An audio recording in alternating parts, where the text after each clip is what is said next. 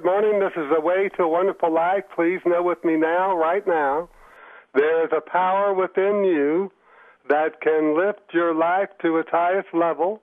It can change illness into health. It can bring peace amidst turmoil.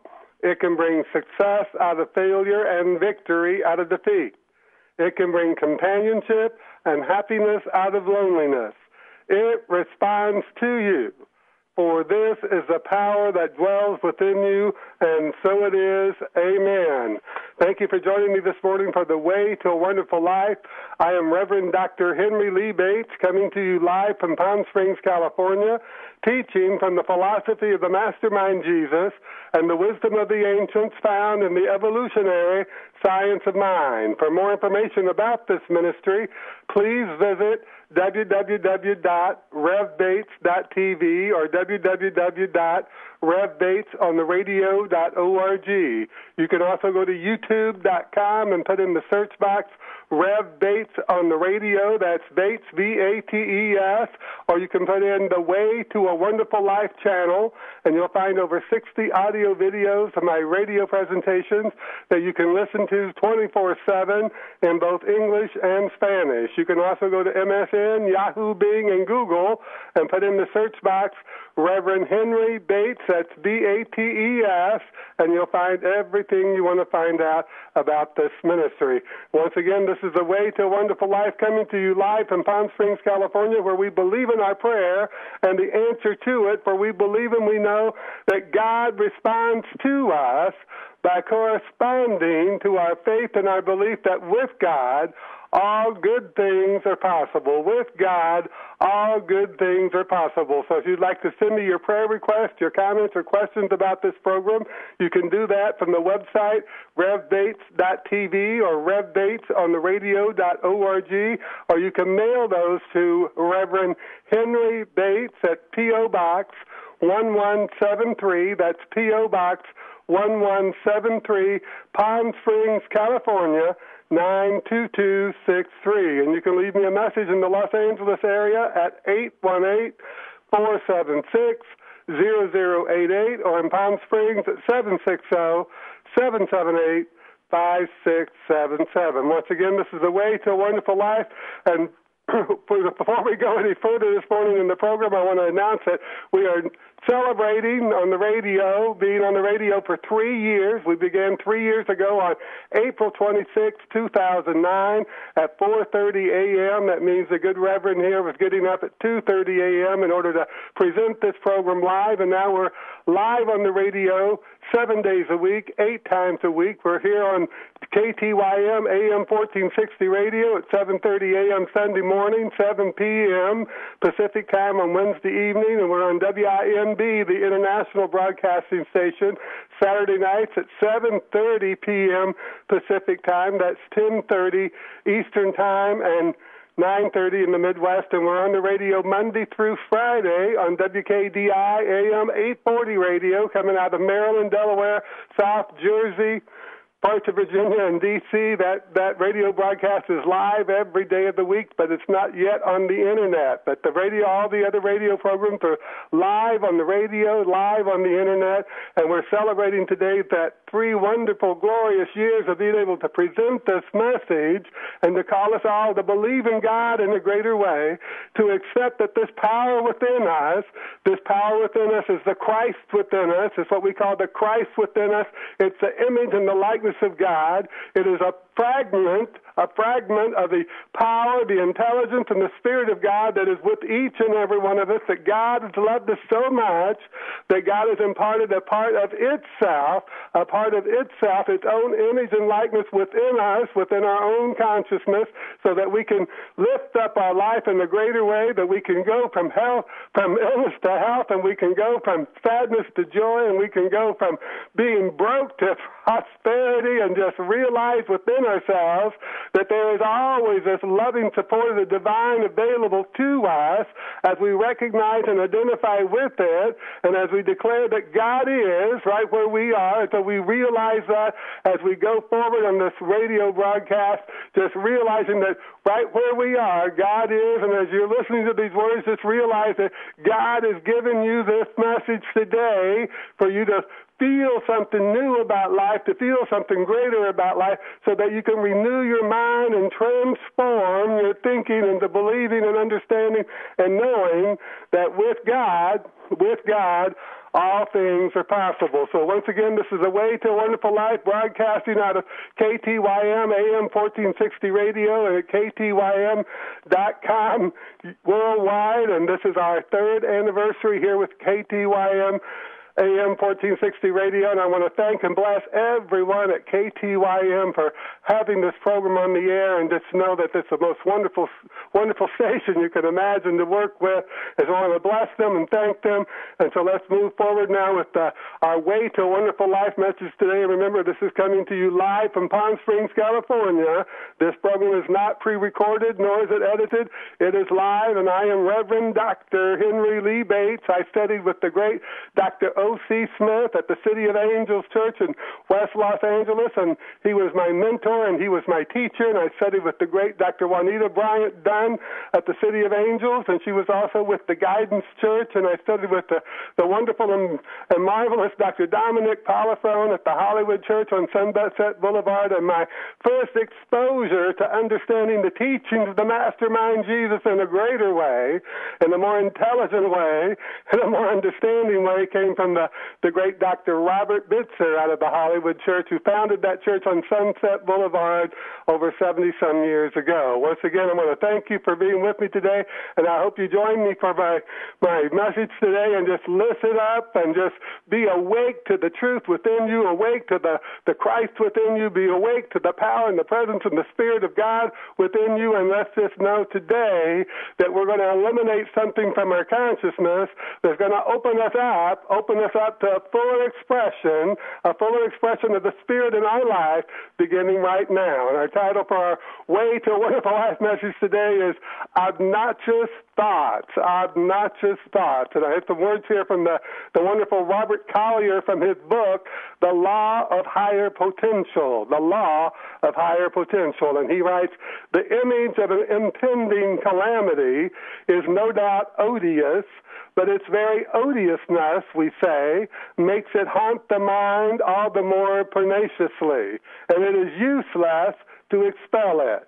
Yet this is an absurd position for us, the heirs of all the ages, to be in. Hag ridden by flimsy creatures of our brain, if a pebble in our boots torment us, we expel it. We take off the boot and shake it out. And once the matter is fairly understood, it is just as easy to expel an intruding and obnoxious thought from the mind. It is just as easy to expel an intruding and obnoxious thought from our mind. So what Robert Collier is telling us that when we have this morbidity in our mind, thinking that things are going to go from bad to worse, or that the things that, that are making us uncomfortable, the things that are causing us to struggle will never cease, and that there is no hope, that's that thing in our mind that we must eliminate, that we must rise above, that we must seek to expel because that's an intruding and obnoxious thought that has nothing to do with that, that spirit of life within us, that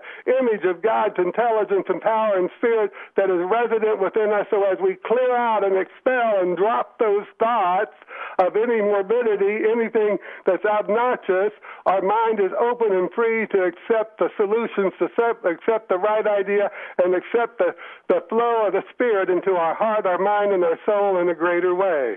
Now, the wonderful Walt Whitman wrote, Nothing external to me has any power over me. Nothing external to me has any power over me. And so we understand the reason for that is that the Spirit of God dwells within us. It is the intelligence within us. It is our ability to think and to analyze.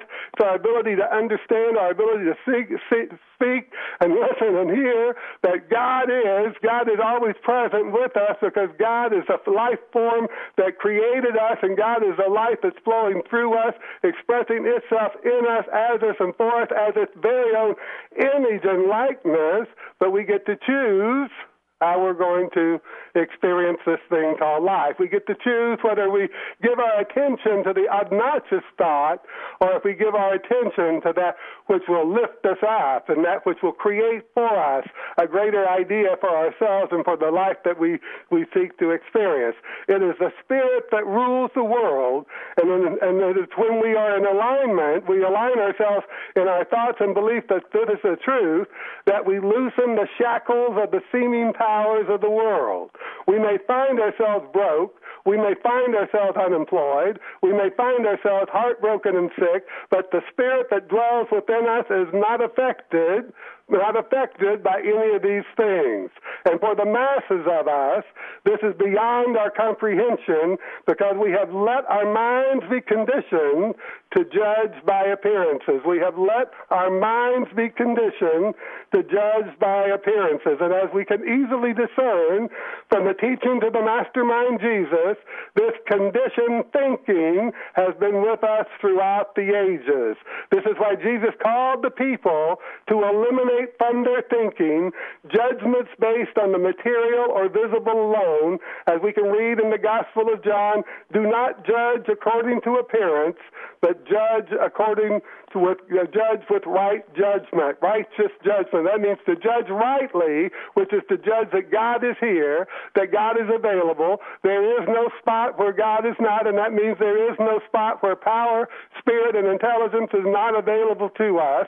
Not only does it dwell within us, it's all around us. It's that unseen presence and power of our, of our Creator. It's that power that we call God. It's this God energy that magnetizes to us through our faith and our belief those good things that we pray for. Unfortunately, for, for far too many of us, we look to people and things outside of us for the cause of our problems and challenges in life, as well as for our prosperity and the good that we want to experience. And so we give power to that which has no power over us except in our own false belief that it does. And all that we see, hear, feel, taste, and touch is but temporary and unreliable as the source of our security. Now, many of us look to our jobs as the source of our wealth, but all too often, jobs end, and so does a temporary feeling of security. We may think of our savings and investments as security, but as we all found out within the past few years, these can shrink rapidly and our sense of security shaken and for some people lost altogether. We weren't born with these false ideas. We learned these from the world in which we live. Our consciousness is impressed daily with obnoxious thoughts that deny the strength, deny the guidance, and deny the intelligence of the Spirit within us. Now, Robert Collier writes in The Law of Higher Potential when I worry, I am not trusting God.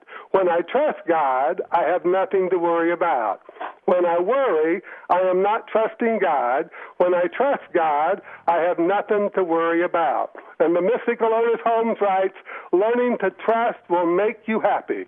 Learning to trust will make you happy. That is to trust in the infinite good, because as we do, we are trusting in the Spirit, we are trusting in the life, and we are trusting in the truth that is the only presence, the only intelligence, and the only power that there is. That's all there is. We have uh, allowed ourselves to let illusions of power, illusions of false ideas permeate our consciousness, and therefore we have felt a separation from God. But that separation is only a mesmerized collective consciousness of the world that's believing in a false, a false idea. There is none other than God. There is only God. We can read this in the ancient scriptures, and this is the absolute truth now and forever. The absolute truth, now and forever. The book of Isaiah, we can go to Isaiah saying, I, I am the Lord, besides me, there is none other. Besides me, there is no Savior. Besides me, there is no thing. And so we know that we must hold that idea, that truth of God, that, that faith in the, in, the, in the infinite goodness in our mind every day so that we can realize in a greater way all the good things that we want to experience. Now, Dr. Joseph Murphy writes, many people are full of guilt because they accept as right that which is actually wrong. God condemns no one. God has already forgiven you. Forgive yourself. Change your thought and keep it changed. Think on whatsoever things are true, just, noble, and of good report. Think from the standpoint of the golden rule and the law of love. Would you think of disobeying the principles of chemistry, physics, mathematics, or engineering? Would you build a wheel off center? Are you believing in antiquated, dead, grotesque superstitions and prejudices in the name of religious beliefs, or have you made a serious inquiry into the workings of your subconscious and conscious mind and let yourself be, be aware of a greater truth, a, a, greater joy, a greater result of knowing that God is, and that your your thoughts about God must conform to the laws of God in order for you to benefit, in order for you to realize and for in order for you to activate the power of God within your own heart, your own mind, and your own soul. That's from Dr. Joseph Joseph Murphy. Unfortunately, so many of us have let these things just go too long and just allowed ourselves to, to be denied the, the feeling of being in the Spirit, to being part of the presence and the intelligence and the power of God, that we have so many things that we must work through. And so we need that renewing of our mind, that transformation of our consciousness so that we can know it. In the Holy Scriptures, we can read that Jesus called his disciples to go forth and announce that the kingdom of heaven is at hand. The kingdom of heaven is at hand, he said. And in this instruction, we understand this to mean that they were to go forth to heal, to prosper, and to bless. Yet there is much bias and racial prejudice surrounding this instruction, as the scripture reads that Jesus instructed the disciples to not go to the Samaritans and to not go to the Gentiles. And we know that since Jesus was bilingual, speaking both Aramaic and Greek, as did most of his disciples, we can know that this had nothing to do with their ability to communicate with the Samaritans and the Gentiles, but everything to do with racial and religious bigotry. What a contradiction this is to Jesus' instruction to love thy neighbor as thyself and to love one another. As we recall from the scripture, Jesus said that we are love, to love God with all our heart, with all our mind, with all our soul. And secondly, as he said was equally important, we are to love our neighbor as ourselves. And so we realize that obnoxious thoughts have been held in the collective consciousness throughout history as the authors of the gospel wrote from their understanding based on culture rather than from the profound insight, wisdom, love of the truth that Jesus revealed to the world that God is for all and God is in all, and this is true for everyone. This is why we must glean the truth from the Holy Scriptures, that is, that which is universal, and that which is eternal, and drop those things that are man made either to forward religion or the seeming power of those in the world. You know, so many people don't understand the history of the time that Jesus was, was on this planet. There were many, many different religious sects. There were many different religious sects of Judaism and many different religious sects that, that believed in multiple gods, and there was also all these people fighting fighting together to take this message of Jesus forward, and each one had their own idea of how they were to do that. So we realize that it's all these disagreements, it's all these obnoxious thoughts that we've allowed ourselves to separate ourselves from each other, that if we just realize that we could love God and love our neighbor as ourselves, and that as we take into our mind that God is all and all is God and God is in everyone, just imagine, just imagine how beautiful and wonderful life would be but instead there are 38,000 different Christian sects alone that can't agree about the teachings of the mastermind Jesus and our relationship to God, the infinite, our creator, the Lord Almighty.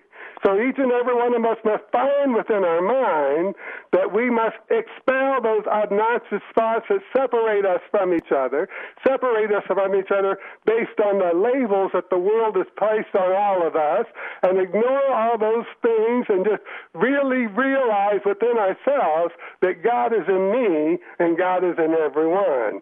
Every one of us is of the Spirit. No one can argue against this intelligently, neither th- scientists nor theologians, yet it is always up to us to consciously choose to recognize that this is the truth about us and everyone else. just as the religious and political powers in the time of Jesus divided the people based on race and religious dogma, so we find the same mindset in our world today. It is this obnoxious thinking that is caused by our unwillingness to understand the truth that creates so many problems in our world and in our personal life experiences. God does not see our race. God does not see our religion.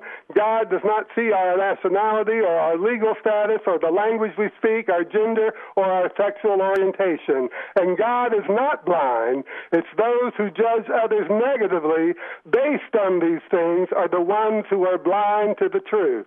The mastermind Jesus said, When you see me, you see the Father. And that me is within you and me as well. That me and that I is an image and likeness of God within us. It is the intelligence of God within us that recognizes that there's more to the life than what we see. That, that when we see the physical, when we see the material, we're only seeing a part of life. That this great unseen that's open to our mind and open to our heart and open to our souls when we have faith and we have belief and we are in the Spirit, it too it too is part of who we are and what we are experiencing. The Father that Jesus was referring to as the Spirit of God that dwells within us. It is the intelligent spirit and power. It cannot be divided against itself for it to be fully realized and experienced by us. In other words, if we believe that it dwells within us and not someone else, we have established a lie in our consciousness that will be revealed as something less than, less than the good that most of us seek to experience. The radical Jesus said, You will know the truth, and the truth will set you free. But we won't realize this freedom as long as we allow the dogma of religion and the divisiveness of, of politics to blind us to the truth, to blind us to the truth. And we won't get rid of those obnoxious thoughts in our mind that cause us to worry. We won't get, get rid of those obnoxious thoughts in our mind that cause us to doubt. As Robert Collier writes in The Law of Higher Potential, when I worry, I am not trusting God. So when I start to feel myself worry, I need to stop it, drop it, and start trusting God. Lift my mind up to the Spirit. Lift my eyes to the heavens and know that I am surrounded by the Spirit of God, that the intelligence of God, the power of God, the Spirit of God is always available to me. It is around me. It permeates all things that I see, just like the law of gravity never ceases to function for me, just like the air that I breathe never ceases to, to allow me to inhale it into my lungs lungs into my bloodstream and give me life and let me inhale it, so exhale it, so that all the world can share in that same breath of life that God has given me. And so we know that just as Jesus said, it rains on the good and the bad alike, we know that the sun shines on the saint and the sinner. So not, don't even bother yourself with all that nonsense and noise from the world and just seek God within your heart, seek God within your soul. Begin to love God with all your heart, your mind, and your soul every day and allow yourself to love your neighbor. Love your neighbor as yourself. Love your neighbor. And if you can't love them, then just leave them the hell alone so you don't bring any of those obnoxious thoughts into your mind that you have to experience or that you have to, to go through in order to reach that greater goal that you have in life to a greater health, a greater joy, a greater loving companionship, and a greater happiness and peace, and a greater prosperity and ease, and a greater success in all things that concern you. And as Dr. Ernest Holmes writes, the mystical Ernest Holmes writes, learning to trust will make you happy Trust God. Open your heart, your mind, and your soul to God. Sit still and be quiet. Relax in the relax in the physical and relax in the mental and relax in the emotional and open your mind to God. As we read in the scriptures, be still and know that I am God. Be still and know that the, the mind of God, the intelligence of God will speak to you as you listen for that still small voice. And don't let yourself just react spontaneously to things without the awareness that the power of God, the love of God, the Spirit of God, and the intelligence of God, the intelligence especially, is always available to us every moment, every day, and no matter what it is that we have confronting us, no matter what it is that we may be experiencing, no matter what it is that, that we may find ourselves in, no matter what condition that we may we may seek to transcend, that the power of God, the presence of God, and the intelligence of God is within us seeking, seeking to give us that great idea, that right solution, that new way for us to realize this wonderful life in our in our experience every day, every day. So whatever it is that we let torment us, let's just realize that we can expel the intruding and obnoxious thought from our mind and know, as Walt Whitman knew, that nothing external to me has any power over me. So don't let it get your attention. Give your attention to the Spirit. Give your attention to the power. And give your attention to the intelligence of God and realize, as Jesus did, that our Father will give us this day our daily bread. And that daily bread represents that abundant life, that joyous life. It represents the best of times and the best of everything right now, right where we are. And so it is. Amen. Once again, I want to thank you for being with me today. It's been my great pleasure to be here with you, and I hope you join me for my next broadcast right here on KTYM AM 1460 radio and at www ktym.com worldwide this coming Wednesday evening at 7 p.m. Pacific time. That's 10 p.m. Eastern time, 9 p.m. in the Midwest. And be sure and visit www.revbates.tv and revbates on the radio.org for more information. And you can submit your questions, your prayer requests, and your comments about this program. And you can also go to youtube.com where you'll find over 60 audio videos of my radio presentations that you can listen to 24 7 in both English and Spanish by just putting in the search box youtube.com, put in the search box the Way to a Wonderful Life channel or Rev Bates on the radio, and you'll find all those audio videos that you can listen to and experience each day. You can also go to MSN, Yahoo, Bing, and Google, where you can search for Reverend Henry Bates. That's B A T E S, and you'll find everything you want to find out about about this ministry. Also, the, the weekly messages that are posted to RevBates.tv, which this message will be posted in audio form and text form later this morning. They're available in English, Spanish, and Italian so that you can read those messages in whatever language is, is, is comfortable for you. And please celebrate with me the third anniversary of the radio broadcast of The Way to a Wonderful Life. And I invite you to join me. I know that God is calling you to share in the abundance that you have, to share in the good that God has given you with this radio broadcast. So please send us a, a donation, a tithe, a love offering, or a gift. You can do, give a gift of financial prosperity, and you can do that through RevBates.tv or RevBates on the radio.org with the PayPal secure system using your ATM card or your credit card. Or you can also send that love offering, that faith offering, that tithe, or that donation to Reverend Henry Bates. That's B A T E S P.O. Box 1173, P.O. Box 1173, Palm Springs, California 92263. If you're hearing these words, you know and you believe and you accept that God is calling you to do just that. And I want to tell you, each and every one of you, I want to say to you that I am grateful for your donations. I am grateful for your tithes. I am grateful for your love offerings and your faith offerings to this radio ministry so we can keep this message on the air so we can all realize and actualize in our experience the truth that the mastermind Jesus has given us, the truth that will set us free from all the noise and the nonsense of the world so that we could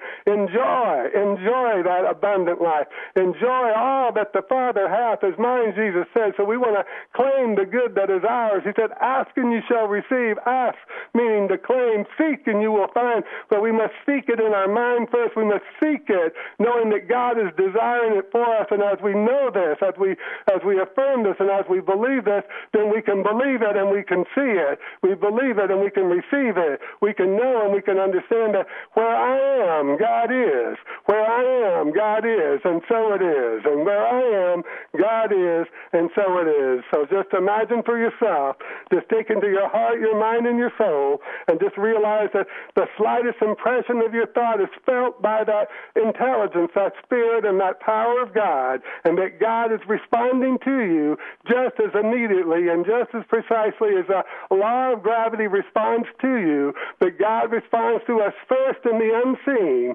and then in the physical. So let us take within our consciousness, take within our heart, take within our mind and our soul the realization that with God, all things are possible. With God, all things are, are possible. So let our thoughts be something that we want God to correspond to because we know and we believe and we accept the truth that God responds to us by corresponding to our faith and our belief that with God, all good things are possible. With God, all good things are possible. Once again, this is Reverend Dr.